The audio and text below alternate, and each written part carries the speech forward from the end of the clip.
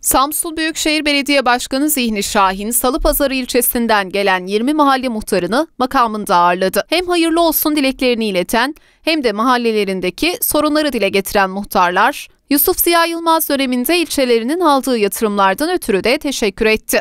Başkan Şahin Yusuf Ziya Yılmaz Bey'in bıraktığı yerden hizmet hata hız kesmeden devam edecek. Verilen tüm sözlerin yerine getirilmesi için var gücümüzle sonuna kadar mücadele edeceğiz.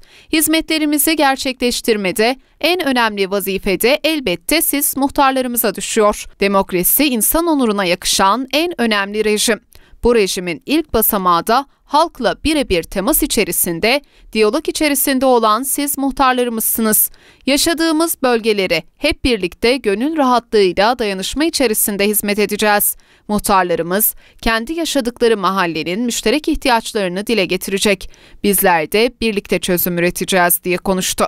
Muhtarların ziyaretinin ardından Başkan Şahin, kamu kurumları, dernek, sendika, oda ve birliklerden gelen misafirlerini tek tek kabul ederek hayırlı olsun dileklerini kabul etti.